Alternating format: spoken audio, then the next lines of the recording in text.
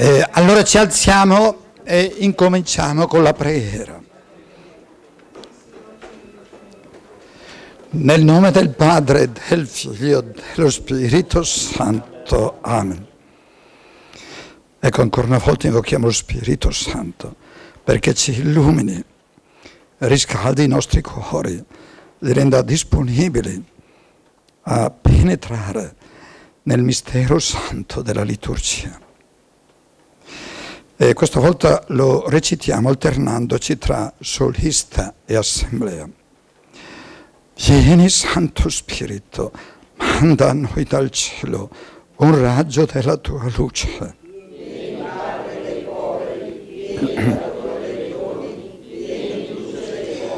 Consolatore perfetto, ospite dolce dell'anima, dolcissimo sollievo.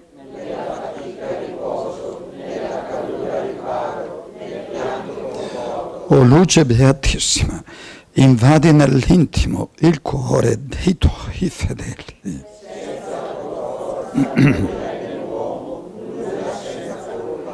Lava ciò che è sordido, bagna ciò che è arido, sana ciò che sanguina.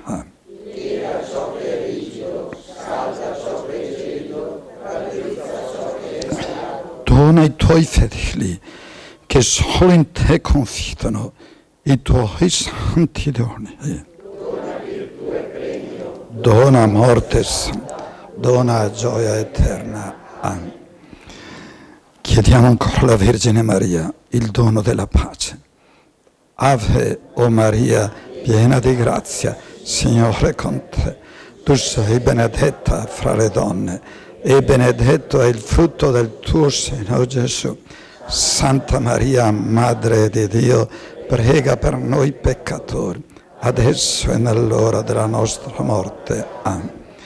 Nel nome del Padre, del Figlio, dello Spirito Santo. Amen.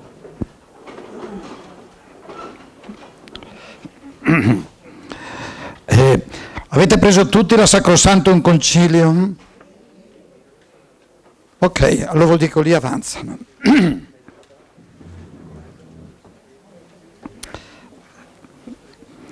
Eh, per, per, quanto riguarda eh, questa Costituzione sulla Sacra Liturgia eh, del Concilio Ecumenico Vaticano II, eh, allora è importante che ce l'abbiate tutti. se poi qualcuno eh, la vuol tenere, la vuol portare a casa e quindi diventa sua, eh, vi chiedo, almeno chi se la sente, di dare 2 euro, costa 2,50, mi facciamo lo sconto, va bene. eh, mentre invece eh, se qualcuno è interessato, alla fine la lascia qui e così la mettiamo a disposizione eh, per le volte prossime. D'accordo? avete notato eh, che l'incontro di questa sera si intitola così, La liturgia culmine e fonte della vita della Chiesa, il rapporto tra liturgia e vita. Eh, io gradirei partire eh, dal farvi fare un piccolo confronto a due, a due così come siete.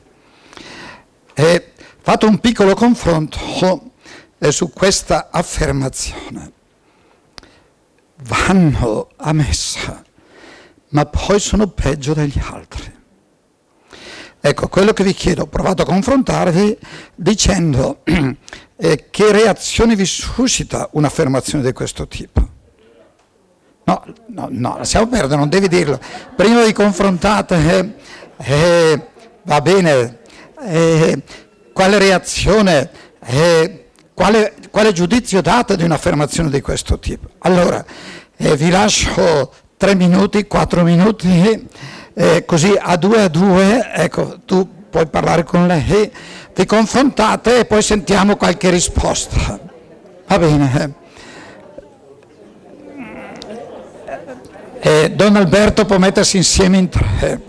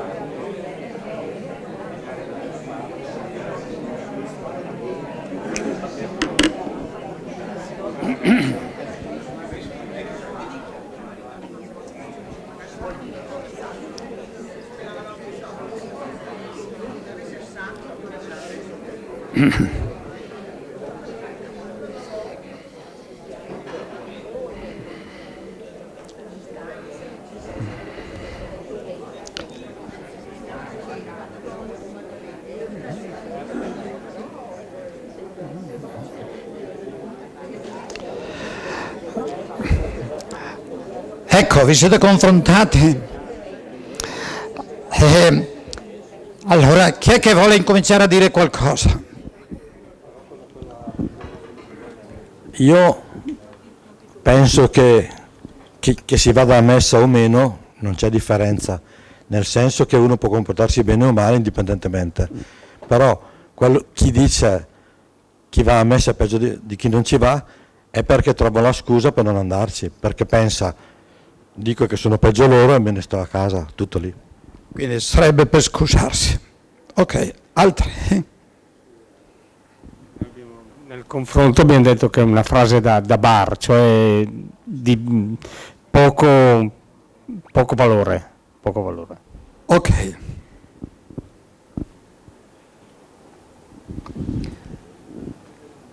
Ci si aspetta sempre che comunque chi eh, partecipa alla messa almeno tenti di migliorarsi.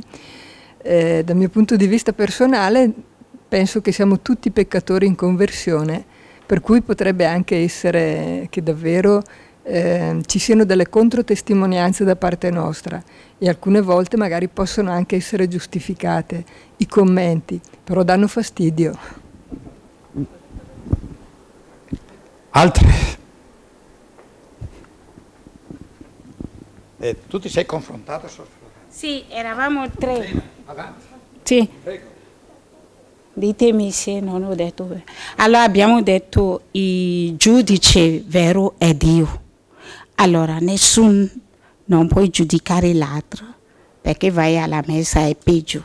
E poi c'è una parola di nell'omelia di Don Davide ha detto tra tutte le parole noi dobbiamo fare riferenza alla parola. E c'è una parola di Dio che dice Gesù diceva così io non sono venuto per i sani però per gli ammalati, i peccatori. Allora chi va alla messa? Forse è malato è, è peccatore però vai a cercare la guarigione Grazie.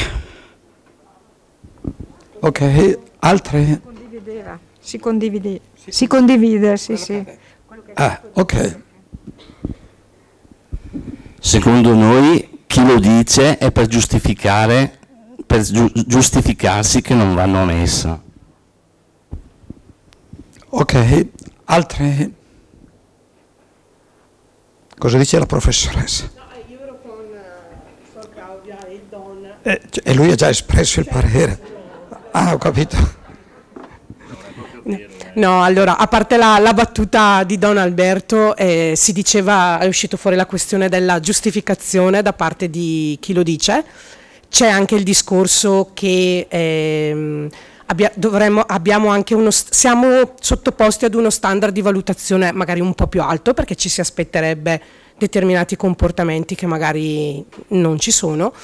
Eh, personalmente eh, credo che è vero, c'è una componente di giustificazione, mh, ma se lo dicono, lo dicono in tanti e lo dicono da molto tempo, mh, forse un piccolo esame di coscienza ce lo dobbiamo fare anche noi, anche perché a volte siamo noi i primi a non trovarci bene nella nostra comunità.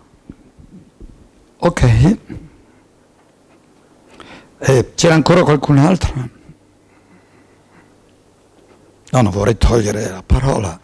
Eh, cosa, cosa dice Porzano? Io condivido quello che dice Stefania, perché tante volte anche mio marito mi dice che siete appena andato a messa.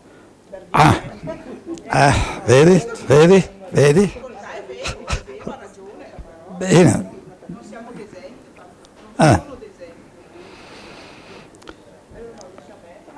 Eh, allora, eh, siamo partiti da questo confronto così molto veloce, senza bisogno di pensarci più di tanto. Eh, eventualmente la stessa affermazione la riprendiamo alla fine, eh, per vedere eh, se in questa affermazione forse c'è anche qualcosa che vale la pena di prendere effettivamente in considerazione. Eh, allora, innanzitutto, eh, dopo questo piccolo confronto, eh, eh, dobbiamo fare riferimento al numero 9 eh, della Sacrosantum Concilium. Eh, numero 9, pagina 8. Vi ricordate che la volta scorsa abbiamo preso in considerazione più o meno i primi otto numeri. Oggi prenderemo in considerazione dal 9 al 13. Il testo dice, la Sacra Liturgia non esaurisce tutta l'azione della Chiesa. Infatti, prima che gli uomini possano accostarsi alla liturgia, bisogna che siano chiamati alla fede e alla conversione. Come potrebbero invocare colui nel quale non hanno creduto?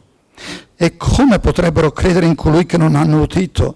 E come lo potrebbero udire senza chi predichi? E come predicherebbero senza essere stati mandati? Per questo motivo la Chiesa annuncia il messaggio della salvezza a coloro che ancora non credono, affinché tutti gli uomini conoscono l'unico vero Dio, il suo inviato Gesù Cristo, e cambino la loro condotta facendo penitenza. Ai credenti poi essa ha sempre il dovere di predicare la fede e la penitenza. Deve inoltre disporli ai sacramenti, insegnare loro ad osservare tutto ciò che Cristo ci ha comandato ed incitarli a tutte le opere di carità, di pietà e di apostolato, per manifestare attraverso queste opere che i seguaci di Cristo, pur non essendo di questo mondo, sono tuttavia la luce del mondo e rendono gloria al Padre dinanzi agli uomini. Ecco, un'affermazione molto chiara, molto importante, quella che troviamo proprio all'inizio la sacra liturgia non esaurisce tutta l'azione della Chiesa. Per dire quindi che la liturgia non è tutto. La liturgia, vedremo quale importanza abbia, però qui si dice la liturgia non esaurisce l'azione della Chiesa. Quindi vuol dire che la Chiesa deve fare anche qualcosa d'altro. Una comunità cristiana che si limitasse soltanto a celebrare la liturgia non è secondo appunto questa prospettiva. Lo stesso discorso, come potete vedere immediatamente lì accanto, lo potete trovare anche al numero 12. Al numero 12 dice, la vita spirituale tuttavia non si esaurisce nella partecipazione alla sola liturgia. Quindi quando qualcuno dice sono andato a messa, sono a posto, eh, si tratta di capirci, però di per sé eh, c'è ancora tutta una vita che deve essere poi effettivamente vissuta cristianamente. E allora proprio per questo, se avete notato, il testo al numero 9 ci aiuta a capire quali sono le altre attività che sono importanti per la vita ecclesiale. O tra parentesi, quando parliamo di Chiesa, attenti bene che non intendiamo i preti.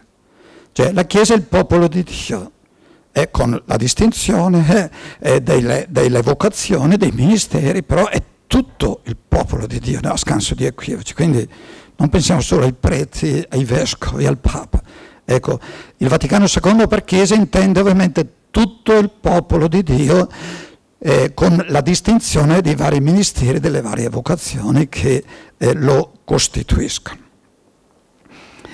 E avete notato che dice che la prima azione che la Chiesa compie, diciamo per il momento al di là della liturgia, anche se poi vedremo che non è poi così al di là, è esattamente quello di annunciare la parola di Dio, l'evangelizzazione. E ci dà quindi un primato. Tra le varie attività che la Chiesa compie oltre all'azione liturgica, un primato ce l'ha l'evangelizzazione. E difatti dice, infatti prima che gli uomini possano accostarsi alla liturgia, bisogna che siano chiamati alla fede e alla conversione. Eh, questo ci dice una cosa importante, e cioè che la liturgia è fatta per i credenti. La liturgia è fatta per i credenti, non è fatta per quelli che non credono. E quindi quando ad esempio si dice oggi eh, la gente ha perso la fede, non ha più la fede, poi quando dobbiamo fare qualcosa facciamo la messa. Beh, forse bisognerebbe fare qualcos'altro se l'affermazione non hanno più la fede è vera. Perché se effettivamente non ha più la fede, bisogna fare qualcosa d'altro. Per il fatto che qui dice, prima che gli uomini possano accostarsi alla liturgia, bisogna che siano chiamati alla fede. E lì cita eh, poi Romani 10, dove appunto l'Apostolo Paolo eh, eh, dice come potrebbero eh, pregare Dio eh, se non gli hanno creduto. E come potrebbero credere senza aver udito? E come lo potrebbero dire senza chi predichi? E poi, attenti bene, qui non è citato, ma l'Apostolo Paolo dice la fede nasce quindi dall'ascolto della parola di Cristo. E cioè è l'annuncio è che genera la fede. O attenti bene che l'Apostolo Paolo eh, dice eh, io vi ho generati mediante la parola che vi ho annunciato. E lui dice di avere una paternità nei confronti eh, dei cristiani di Corinto, perché dice io vi ho generati, non dice immediatamente col battesimo, ma dice vi ho generati con l'annuncio della parola, con il Vangelo. Quindi eh, è vero, eh, la fede è legata indubbiamente, oh, attenti sto parlando di fede cristiana, non sto parlando di una fede generica o di una religiosità qualsiasi, sto parlando di fede cristiana, perché la fede cristiana ha come oggetto Gesù Cristo. E quindi è, è ovvio che se mai sentito parlare Gesù Cristo non l'hai accolto, non puoi avere la fede cristiana. Oh, attenti bene, questo non vuol dire che allora quelli che non hanno una fede cristiana esplicita non possono salvarsi. Questo è un altro discorso. Stiamo però dicendo che la partecipazione alla liturgia esige effettivamente che uno prima giunga alla fede. E vedremo poi, perché lo dice, eh, che in realtà questa è soltanto un aspetto della questione, nel senso è che la liturgia, e se volete in modo particolare per essere ancora più chiari, eh, la partecipazione ai sacramenti, tutti, esige quindi, potremmo dire, una certa fede cristiana, non esige la fede cristiana perfetta per il fatto che un frutto delle celebrazioni sacramentali, in modo particolare della celebrazione eucaristica, è proprio quello di far crescere la fede. E quando noi partecipiamo all'incontro con Cristo riceviamo come dono questo crescere nella fede, nella speranza e nella carità. Cioè c'è effettivamente eh, un dono efficace che viene dalla partecipazione. Però e se manca completamente la fede, ripeto, ecco che non si può partecipare alla liturgia. Va bene? non si può partecipare, dopo noi non buttiamo fuori nessuno, però diciamo non si può partecipare con frutto, perché dopo uno se vuole andare da spettatore vediamo cosa fa, questo è un altro discorso. Va bene? E quindi ecco perché il primato viene dato all'annuncio.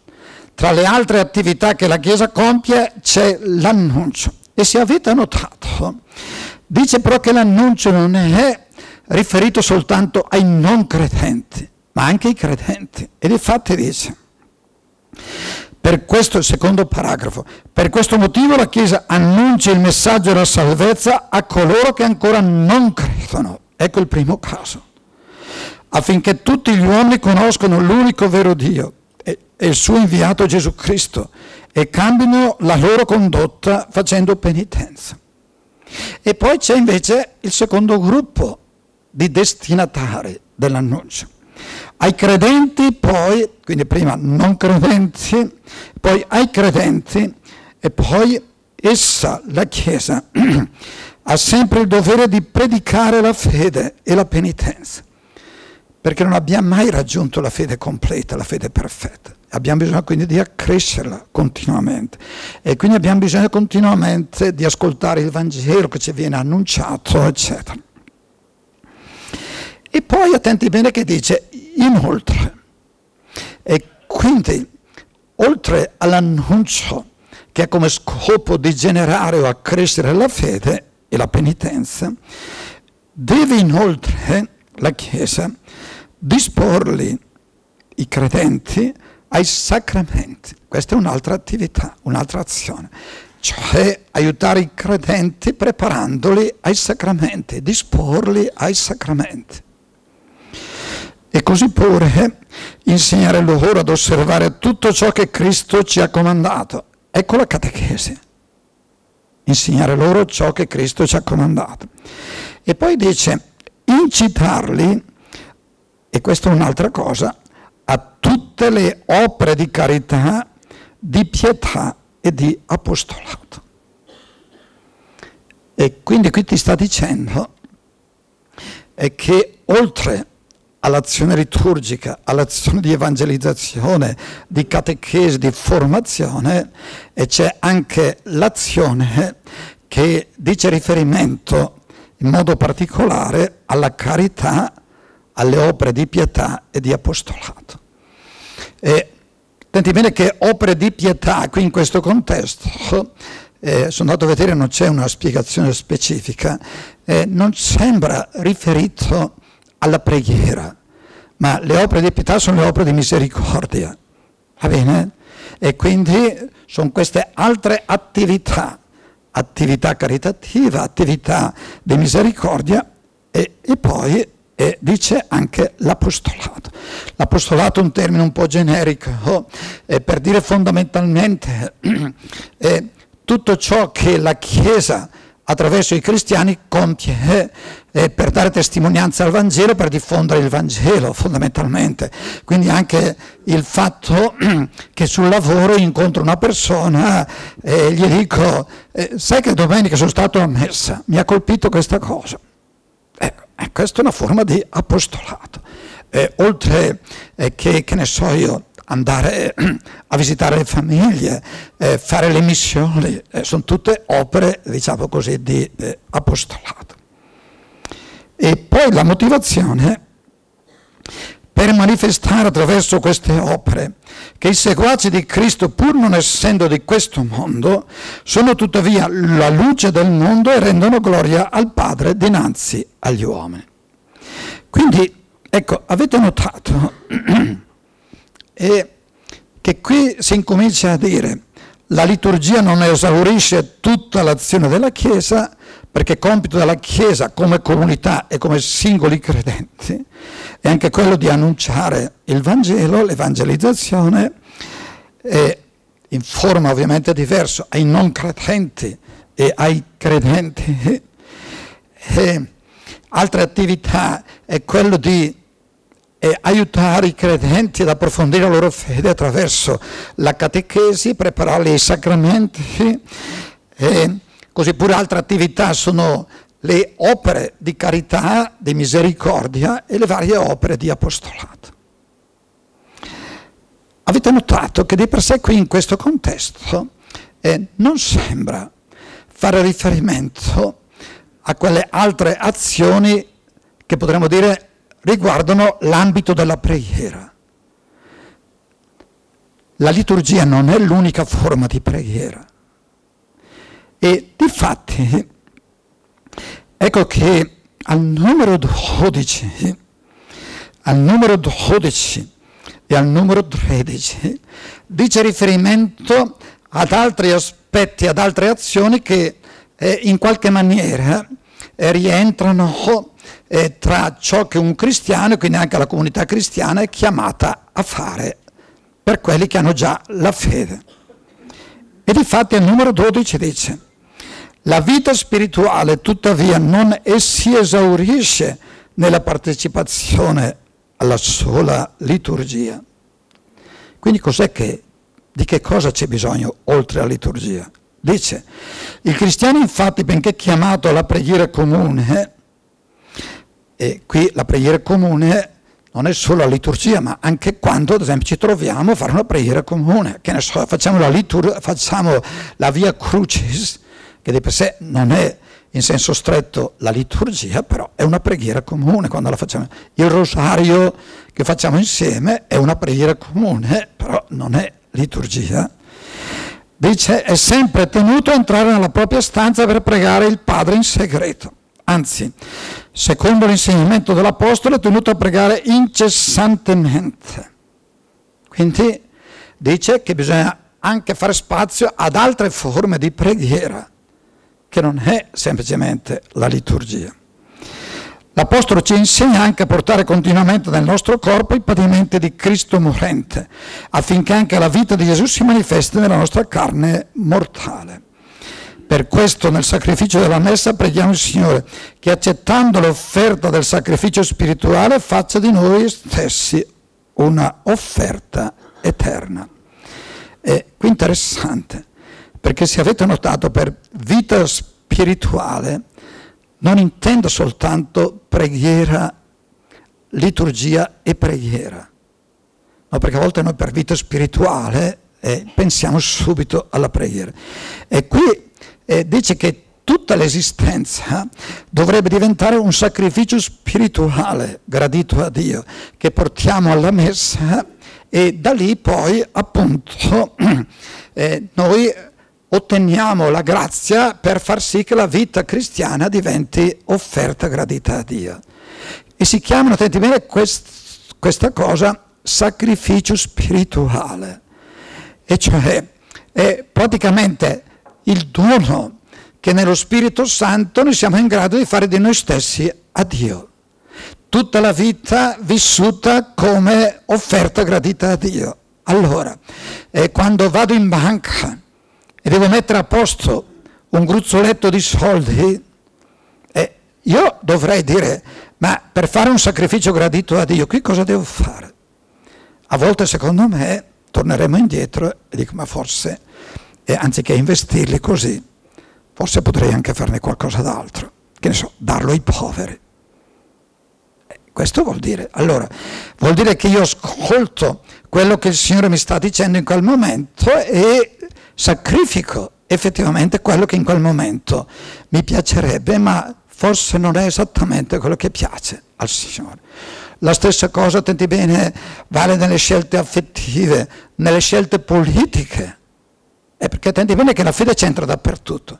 Quando qualcuno vi dice che nella politica la fede non c'entra, è la più grande palla che ci sia. Se mi dite che la fede non si identifica con un partito, vi do pienamente ragione. Ma che la fede non c'entri nella politica, questo è falso. Perché la fede, visto è che è un'impostazione della vita che tu non vivi più per te stesso, ma insieme con Cristo e alla luce della sua parola, questo deve illuminare tutte le tue scelte. Tutte. Va bene? E questa si chiama vita spirituale, cioè vita vissuta nello spirito di Cristo. Questo è molto bello, perché invece c'è un po' la tendenza a identificare la vita spirituale semplicemente appunto con la preghiera. Ecco, avete notato quindi questa sottolineatura E perché gli uomini possono accostarsi alla liturgia bisogna prima che siano chiamati alla fede. E c'è questo primato eh, della fede. Mm? Oh, butto lì una cosa.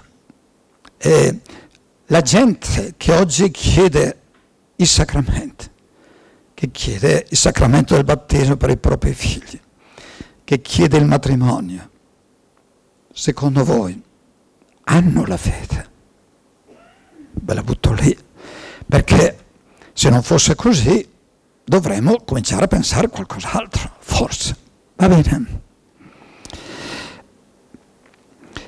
E al numero 13 eh, viene presentato poi, eh, potremmo dire, un altro aspetto dell'attività della Chiesa. E ripeto, come Chiesa intendo dire anche eh, appunto i singoli credenti. E parla di pii esercizi. E i pii esercizi eh, in un documento posteriore sono stati identificati praticamente con eh, la pietà popolare. Quindi i pii esercizi eh, sono le processioni, se volete il rosario, eh, ecco quelle che, diciamo così, le tante forme di preghiere che facciamo eh, senza essere eh, appunto liturgia. Dice i esercizi, siamo al numero 13. I pii esercizi del popolo cristiano, purché siano conformi alle leggi e alle norme della Chiesa, eh, sono vivamente raccomandati, soprattutto quando si compiono per mandato della sede apostolica. E di speciale dignità godono anche quei sacri esercizi delle chiese particolari che sono specifici di una diocesi, ad esempio. No? Ci sono delle processioni che sono tipiche di una diocesi, e va bene, poi dice, bisogna però che tali esercizi siano regolati, tenendo conto dei tempi liturgici e in qualche modo da armonizzarsi con la liturgia. Derivino, attenti bene che qui incomincia a dire eh, quello che poi troveremo dopo. Allora ci sono tante altre attività oltre alla liturgia, compresi i P esercizi. Eh, però che rapporto c'è tra la liturgia e tutto il resto, soprattutto le varie pratiche di pietà che non sono, eh, ripeto, necessariamente liturgia? E qui dice, in modo da armonizzarsi con la liturgia, derivino in qualche modo da essa, ad esse introducono il popolo cristiano dal momento che la liturgia è per natura sua di gran lunga superiore ai piedi esercizi. E così siamo introdotti a un altro passaggio. Dopo aver visto che la liturgia non esaurisce tutta l'azione della Chiesa, abbiamo visto quali altre azioni sono importanti ci possono essere. Adesso più specificamente ci domandiamo eh, che rapporto c'è tra la liturgia e le altre azioni ecclesiali. Ecco, se permettete, soprattutto le altre azioni ecclesiali e quindi anche personali dal punto di vista, diciamo così, della preghiera, non soltanto, però soprattutto perché qui il discorso è un po' più semplice, più chiaro. Ecco, rispondendo quale rapporto, eh, potremmo parlare di un rapporto di differenza e correlazione. Differenza e correlazione. Ecco, è importante mantenere questi due aspetti, eh, perché se non manteniamo la differenza confondiamo quello che è più importante con quello che è meno importante. È importante affermare che c'è una differenza tra ciò che è liturgia e ciò che non è liturgia. D'accordo? E nello stesso tempo però correlazione. Ecco, adesso eh, vediamo un po' questi due aspetti. Eh, allora innanzitutto la differenza. La differenza è ribadita, come avete potuto notare, è proprio alla fine del numero 13, perché dice che la liturgia per sua natura è di gran lunga superiore ai esercizi. E quindi vuol dire che c'è una differenza tra la liturgia e gli altri esercizi gli altri valgono di meno. Va bene? in concreto valgono di meno. E al numero, al numero 7, l'avevamo già visto la volta scorsa, eh, vedete alla fine del numero 7.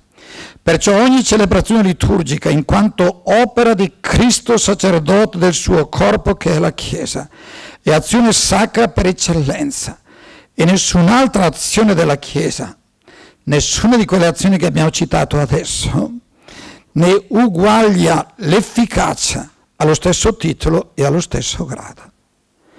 Quindi non hanno la stessa importanza, non hanno la stessa efficacia. È importante che ci chiediamo per quale motivo. E allora il primo motivo è costituito, lo dice anche qui, dal fatto che la celebrazione liturgica è opera di Cristo sacerdote e della Chiesa.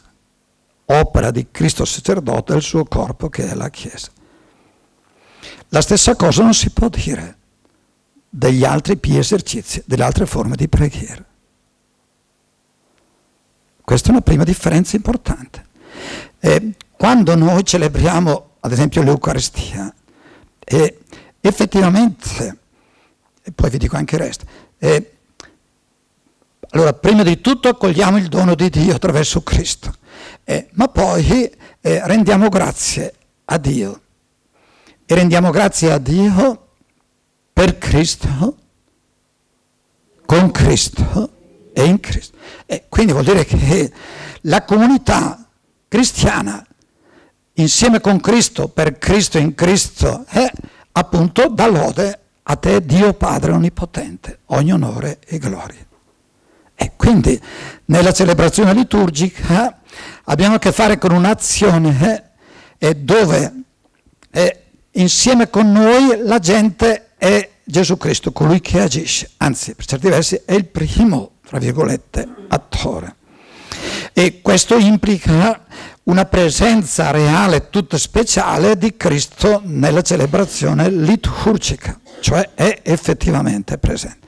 Oh, tanto bene che è presente anche nella parola di Dio, eh, non sto dicendo, però qui c'è una presenza eh, appunto particolare, eh, in modo soprattutto eh, speciale eh, nell'Eucaristia quando addirittura c'è il cambiamento del pane nel suo corpo e del vino nel suo sangue. Questo è il massimo no, di questa presenza speciale. E possiamo aggiungere anche un altro motivo eh, che ci permette di completare il discorso, e cioè eh, perché la liturgia eh, ecco che è di gran lunga superiore e ha una efficacia superiore per il fatto che, posso esprimermi così, eh, la liturgia, come dicevamo prima, non è semplicemente un'azione dell'uomo, ma è un'azione eh, che porta con sé eh, questo intervento di Dio. E noi dicevamo anche la volta scorsa, nelle celebrazioni sacramentali c'è questa presenza di Cristo che opera attraverso eh, lo strumento della Chiesa, a tal punto che quando uno battezza è Cristo che battezza, e quando uno perdona è Cristo che perdona. Cioè, che cosa vuol dire? Eh, vuol dire eh, che non siamo di fronte eh, a una preghiera semplicemente di tipo soggettivo. Eh, la preghiera potremmo dire personale, che è molto importante, però fondamentalmente esprime il mio desiderio di rapportarmi a Dio. Che cosa manca? La garanzia che ci sia il movimento contrario, discendente. Con la preghiera personale cerchiamo di avvicinarci a Dio e anche nella liturgia, ma prima di tutto noi nella liturgia accogliamo il Dio che viene in mezzo a noi e quindi c'è una dimensione discendente, non solo ascendente. E questo cosa vuol dire? Eh, vuol dire che la celebrazione liturgica, per certi versi, eh, potremmo esprimerla così. Ecco che realizza qualcosa che avviene al di là delle capacità e della bontà umana. Dicevamo prima, eh, certo, la celebrazione liturgica esige la fede, va bene? I sacramenti esigono la fede, almeno una certa fede, anche se non sarà perfetta. Però, a differenza degli altri esercizi di pietà, dove fondamentalmente il valore della tua preghiera è legata, potremmo dire, proprio alla tua disposizione. E vale in proporzione della tua disposizione, in proporzione della tua santità. Nella celebrazione sacramentale invece Ecco che anche se non hai la fede perfetta, la disposizione perfetta, questo intervento di Dio che ti usa misericordia fa sì che anche se non hai le disposizioni perfette, comunque tu possa beneficiare della salvezza di Dio. Avete capito? In questo senso ha una efficacia maggiore, ma perché appunto prima di tutto fa spazio all'azione misericordiosa di Dio nei nostri confronti. Le altre pratiche di pietà invece dicono più riferimento alla tua situazione personale e quindi hanno valore, però attenti bene che possono avere maggiore o minore efficacia in base al tuo stato di santità, tuo, alla tua bella disposizione, eccetera, eccetera. E tanto è vero che non so se avete sentito mai, eh, secondo anche qui il Catechismo di San Pio X, eh, per ottenere il perdono dei peccati. Eh, nel caso che non sia possibile accostarsi alla confessione, peccati gravi, non i peccati veniali, eh, c'è un modo per ricevere il perdono di Dio anche senza la possibilità di accostarsi alla confessione. Il catechismo del Pio X, sì, quando c'è il dolore perfetto. Avete notato? Dolore perfetto. Eh, mentre invece se ci accostiamo alla Sacra Confessione e il dolore non è proprio così perfetto, però siamo contenti che il Signore ci perdoni, che ci aiuti, e poi noi diciamo, però non so se non lo farò più, adesso lascia perdere, intanto ti dispiace eh, che hai fatto questo, sì, va bene allora, adesso non cominciare a dire però Adesso intanto godi. Ecco, vedete che qui puoi ottenere il perdono sacramentale, in questo caso, di Dio, anche se non hai il dolore perfetto.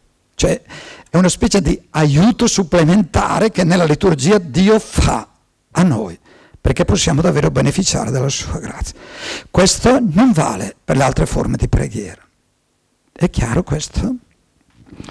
L'altra cosa è, è concludo, ah, scusate, la, ho visto qui, va bene, fermiamoci. Eh, eh, l'altro elemento che fa la differenza eh, tra l'azione liturgica e le altre eh, preghiere o forme di preghiere è che la liturgia, ecco che è sempre azione ecclesiale, non è mai un'azione privata. Va bene? E quindi c'è una differenza sostanziale e radicale tra le varie devozioni, bellissime, legittime, che però sono devozioni private, anche se le facciamo insieme, ma sono sempre devozioni private, nel senso che ognuno appunto partecipa, mentre invece eh, il soggetto della celebrazione liturgica non è mai il privato, ma è sempre la Chiesa, la comunità. E la volta prossima affronteremo proprio questa, la dimensione ecclesiale della Sacra Liturgia. Va bene? Eh, anticipo, ad esempio, eh, quando, eh, quando, io vado a fare la mia adorazione personale, eh, io dico, eh, Gesù, io credo in te. Gesù, io ti voglio bene. Gesù, aiutami. Bellissimo. Nella liturgia non troverete mai io.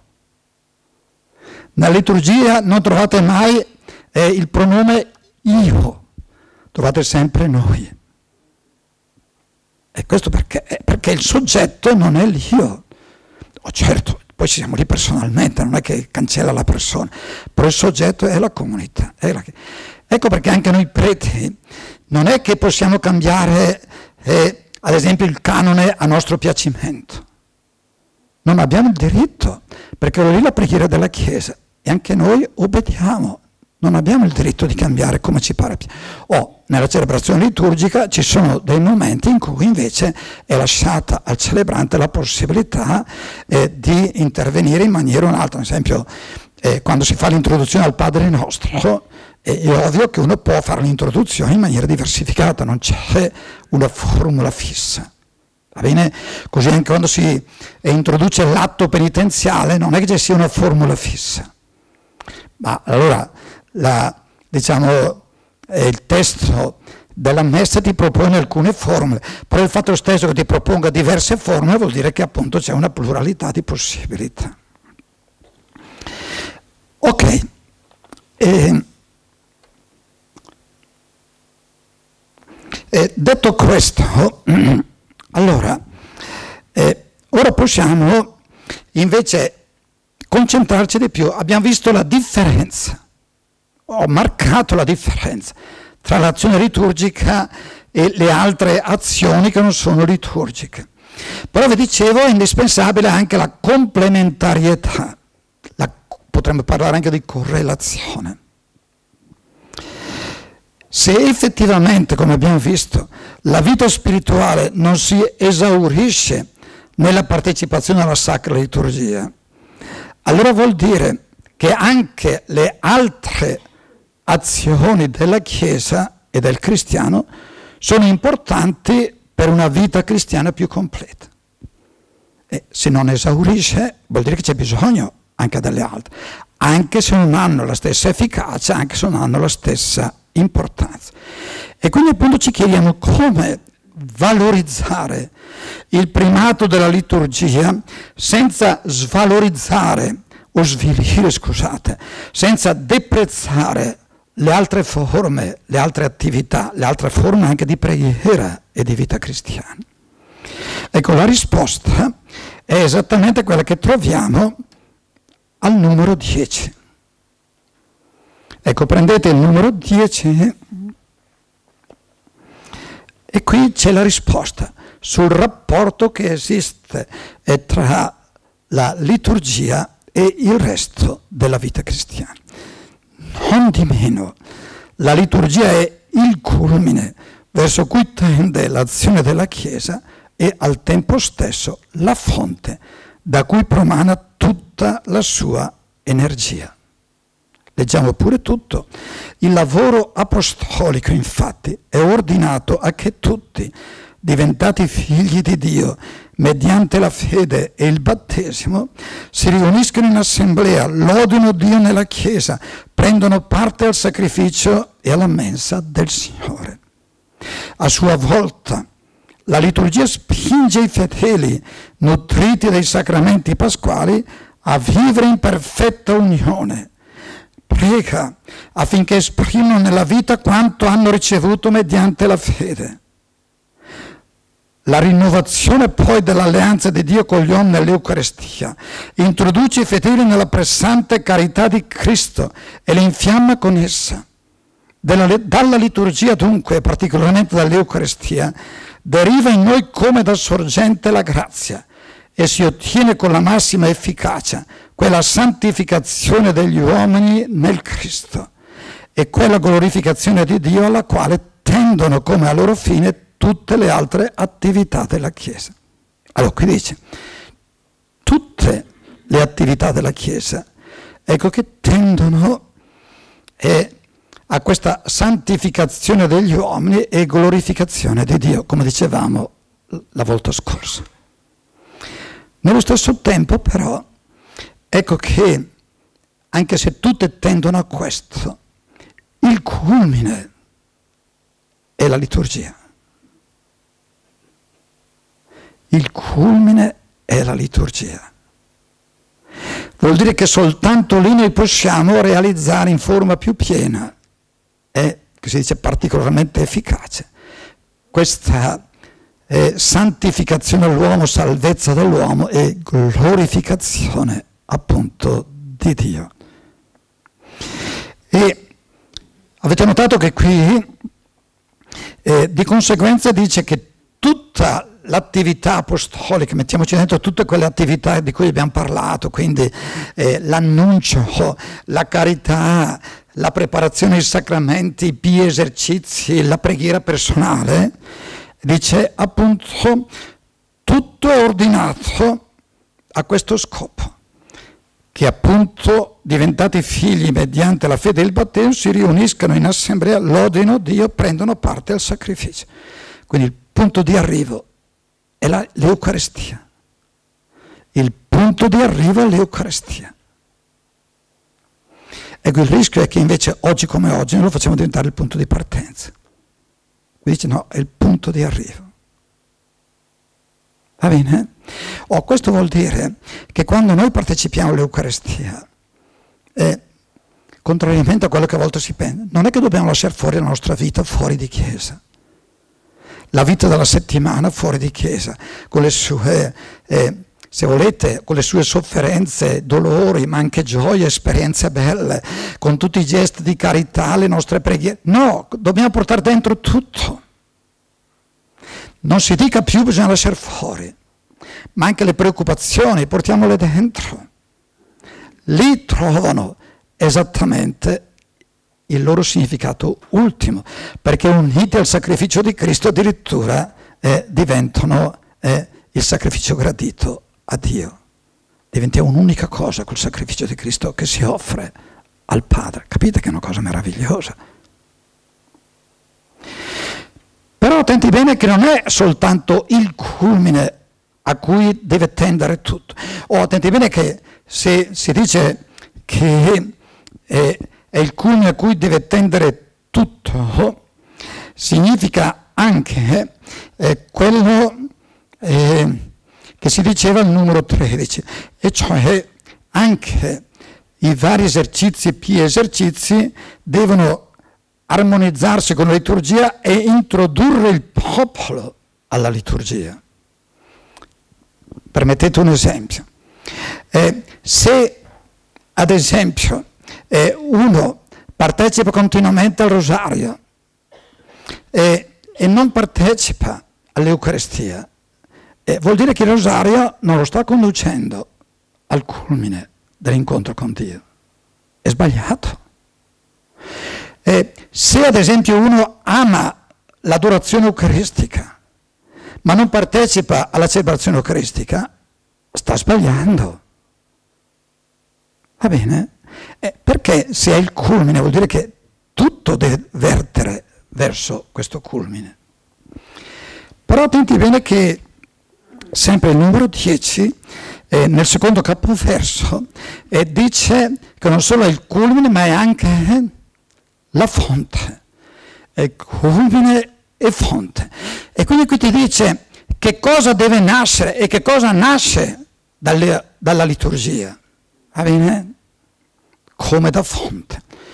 La liturgia spinge i fedeli, nutriti di sacramenti pasquali, a vivere in perfetta unione. Oh, qui non è specificato, eh, ma attenti bene, eh, eh, vediamo se cita qualcosa. Numero 19, la nota 19. Eh, attenti bene che le note, eh, dunque, vediamo se le troviamo. Eh, ecco. Avete visto? Sono andato a finire le note. Ah, ecco, grazie, bravi. Vedete che servite a qualcosa. e la nota 19, vabbè, il post-comunio della veglia pasquale, va bene. E possiamo comunque intendere vivere in perfetta unione con Cristo e con i fratelli. Va bene? E in secondo luogo, eh, Ecco che la liturgia, oltre che spingere i fedeli a questo, eh, prega affinché esprimano nella vita quanto hanno ricevuto mediante la fede. E poi dice che la rinnovazione dell'alleanza di Dio con gli uomini nell'Eucaristia introduce i fedeli nella pressante carità di Cristo e quindi ci rende capaci di amare, ci rende capaci di amare e li infiamma con essa. Dalla liturgia dunque, particolarmente dall'Eucaristia, deriva in noi come da sorgente la grazia e si ottiene con la massima efficacia quella santificazione degli uomini nel Cristo, eccetera. Allora dobbiamo domandarci, e quando non ci sono questi frutti derivanti dalla partecipazione alla messa, alla liturgia, che cosa è successo? Per cui dice che devono nascere questi frutti. Che cosa è successo? Forse che i sacramenti non sono più efficaci? Forse che non è intervenuto Gesù Cristo? Ecco, la risposta la trovate al numero 11.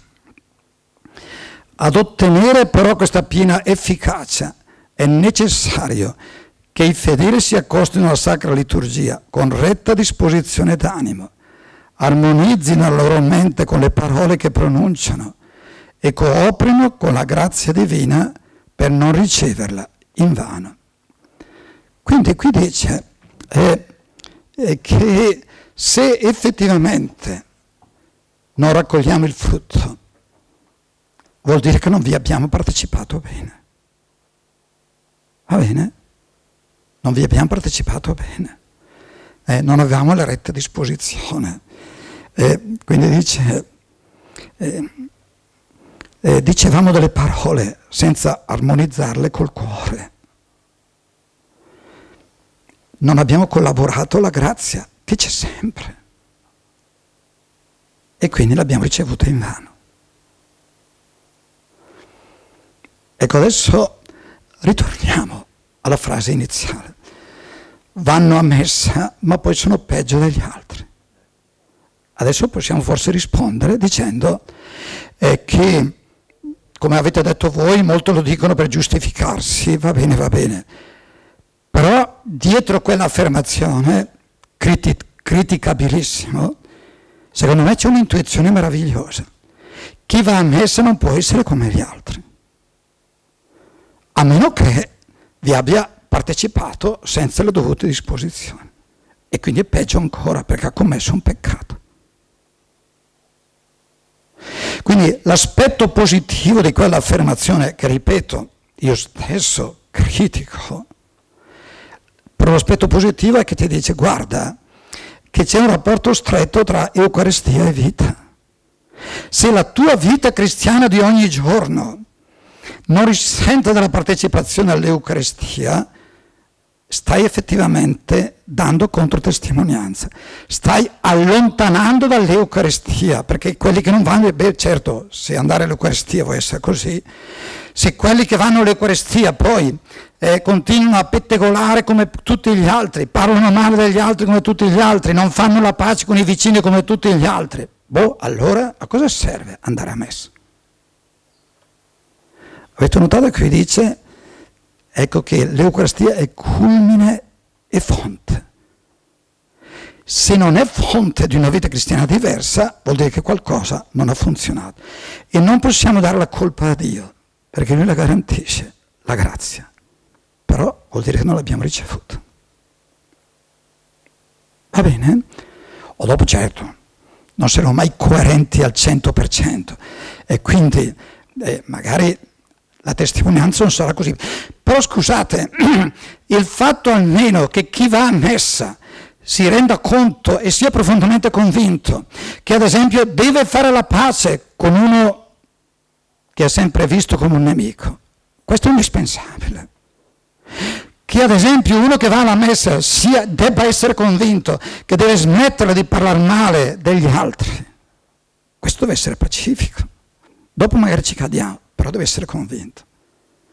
E poi quando con qualcuno io parlo e dico magari che io non parlo male, dico la verità. E scusa, ma quando tu dici un difetto degli altri, anche se è vero, stai parlando male degli altri stai portando in piazza un difetto e questo è un parlare male. Ecco perché andare a messa vuol dire che poi noi impariamo un po' alla volta eh, questo modo di agire della gente. O si parla bene o si tace. Eh, guardate che a me capita qualche volta con delle persone che vengono anche in canonica a dover intervenire in maniera anche abbastanza seccata e dire questo, no per piacere, almeno qui eh, non potete parlare male degli altri, pettegolare. E detto no, qui no, ma neanche fuori.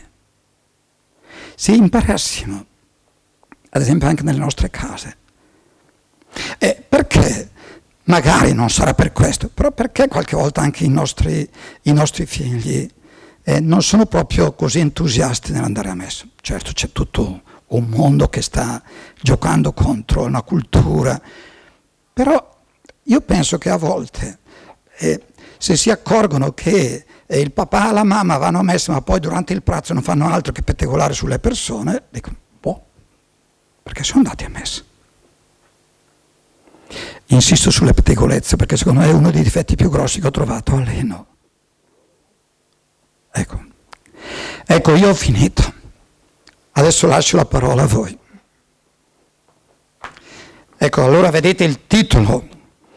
La liturgia culmine e fonte della vita della Chiesa, il rapporto tra liturgia e vita.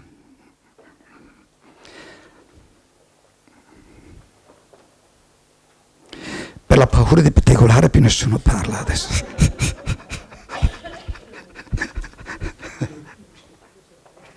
Io ho l'abitudine di sintetizzare ciò che sento e stasera eh, credo che la differenza, ho scritto io, essere una brava persona, perché possiamo essere anche brave persone, comportarci bene, eh, anche senza essere credenti, può essere una brava persona comunque, e la differenza è essere una sacra persona, Sacra, essere nella propria vita sac- proprio sac- eh, la vita diventare sacra, essere sacri noi stessi. Eh, eh, quello, quello, che dici eh, ovviamente porta con sé qualcosa di vero, cioè noi possiamo trovare delle buone persone, eh, anche tra i non credenti ci vorrebbe anche quello. E, e, oltretutto attenti bene che c'è quella frase meravigliosa di farci pensare della prima lettera eh, di San Giovanni, eh, dove dice chiunque ama è nato da Dio e conosce Dio, perché Dio è amore. Chiunque, cristiano o non cristiano, credente o non credente, chiunque ama, ovviamente ama veramente, no? nel senso che non è eh, l'andare a letto, ama che si sacrifica eh, senza la pretesa di avere un tornaconto, eh, vuol dire che effettivamente è nato, cioè vuol dire che Dio è l'opera dentro di lui e questo va benissimo. Però attenti bene che l'appartenere alla Chiesa è un'altra cosa. Quindi saranno buoni ma non appartengono alla Chiesa. Ecco, noi stiamo parlando eh, di chi invece eh, intende essere Chiesa. E quindi questo è importante perché altrimenti la liturgia dice riferimento alla Chiesa. Quindi non stiamo giudicando i non credenti, ma non giudichiamo neanche quelli che non vanno a messa, è Dio che giudica. Certo, io posso dire che se uno eh, ha ricevuto il battesimo, ha fatto la scelta cristiana e ha fatto la scelta cristiana, perché la maggioranza è battezzato senza aver fatto la scelta cristiana, non la fa mai, però se uno ha fatto la scelta cristiana, la coerenza vuole che appunto uno partecipi allora all'Eucaristia. E lì eh, non soltanto porti eh, il suo desiderio di essere buono, una brava persona che si consacra a Dio, ma da lì riceva anche la forza per poterlo vivere, perché da soli non ce la facciamo. Io invece penso che ci sia anche un'altra chiave di lettura dietro a questa frase.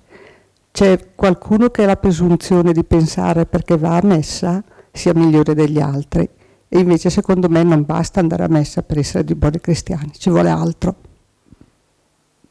Beh, anche questo ci fa riflettere. Qualcuno che va a messa ha la presunzione di essere migliore degli altri. Teoricamente dovrebbe esserlo. Però avere la presunzione non è bello. Altri?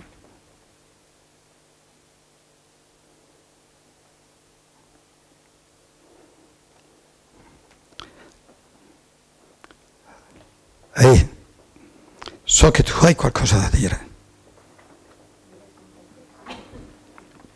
Come fa a saperlo? Ma Dio, io volevo farle una domanda. Come è strutturata la preghiera? La preghiera per, in modo che possa partecipare le varie tradizioni liturgiche. Eh, scusa, aiutami a capire cosa. Cioè, la preghiera non è strutturata in se stesso come, come la vediamo noi cattolici, Mm. ma tiene conto. Delle altre tradizioni liturgiche, Ah, ho capito, ho capito. di tante tradizioni liturgiche. Ok. Come quindi il sacerdote che è l'uomo dello spirito, della parola e Tieni- della tieni divina davanti. liturgia. Tieni davanti. Basta, ho finito. Eh, eh, quando leggerete la Sacrosantum Concilium eh, affronta questo, questo tema per il fatto che la Sacrosantum Concilium è ovviamente è la Costituzione sulla Sacra Liturgia per la Chiesa Cattolica, ma dice eh, scusate, che prima di tutto già nella Chiesa Cattolica eh, ci sono diverse forme di riti e quindi anche di liturgie. E dice che vanno rispettati eh, perché riconosciuti oltretutto eh, dalla Santa Sede hanno valore e quindi anche se eh, uno celebra anziché il rito romano eh, celebra secondo il rito ambrosiano a Milano eh, sta celebrando, eh, uno celebra eh, nel rito eh, invece eh, eh, diciamo mozzarabico, va bene. Quindi ci sono diversità di riti. E, nello stesso tempo la Chiesa riconosce valore, ad esempio, anche alle celebrazioni liturgiche che vengono celebrate, ad esempio, secondo il rito ortodosso eh, riconosce quella è messa.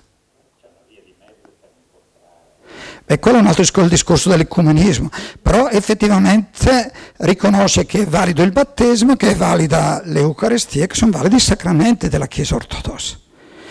L'unico elemento, diciamo così, eh, che fa problema, e lo ha eh, sottolineato Giovanni Paolo II, eh, l'unico elemento che fa problema è proprio il Papa, paradossalmente, quello che dovrebbe essere il segno dell'unità.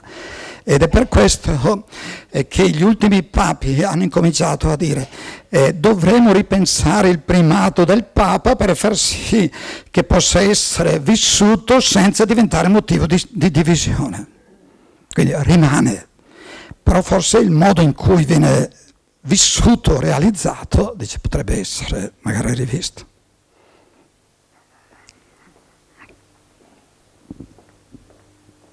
Vado appena appena fuori, però mi veniva da pensare a- al fatto che forse non, tante volte non capiamo il valore della liturgia proprio perché ce l'abbiamo troppo disponibile, nel senso, mi spiego, eh, mi è capitato di andare a messa all'estero dove devono fare centinaia di chilometri e la vivevano più, più come una festa, cioè non stavano lì a guardare due minuti in più, dobbiamo andare a casa, addirittura finita la messa ti trattenevano anche se non ti conoscevano, ti dicevano fermati qua, fai, conosciamoci. eh." E la stessa roba l'ho provata io dopo la, quando dovevamo seguire la messa alla televisione perché non si poteva, Mm, non mi facevo il problema se un migliore, sentivo proprio il bisogno la prima volta che, che ho potuto fare una celebrazione fatta come si faceva. Quindi forse non eh, capiamo a pieno significato perché ce n'abbiamo troppo, cioè dovremmo conquistarcela questa...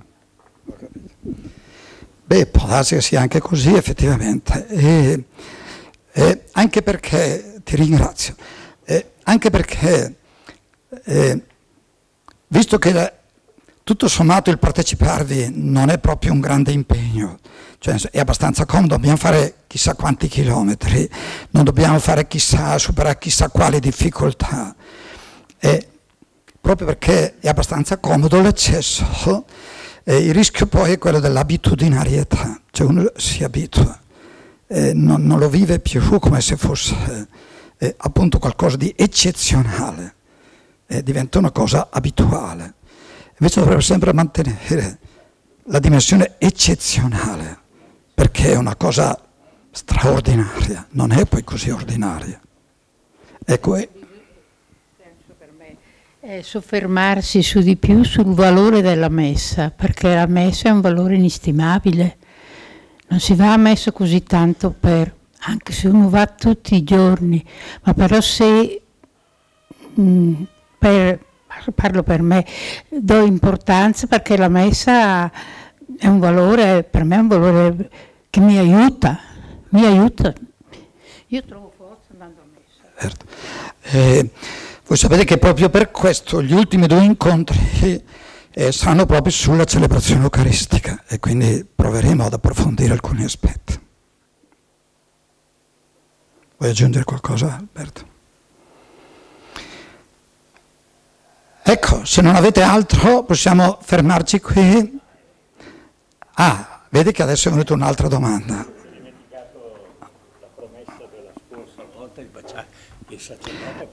Ecco, quando facciamo la messa ti dico il perché il sacerdote bacia, bacia l'altare. Così vieni fino alla fine, va bene? ecco, allora ci alziamo. per l'intercessione della Beata Vergine Maria e di tutti i santi, vi benedica Dio Onnipotente, Padre e Figlio e Spirito Santo. Arrivederci a mercoledì prossimo. Eh, allora, quelli che vogliono prendersi il libretto lo possono prendere, se vogliono danno 2 euro.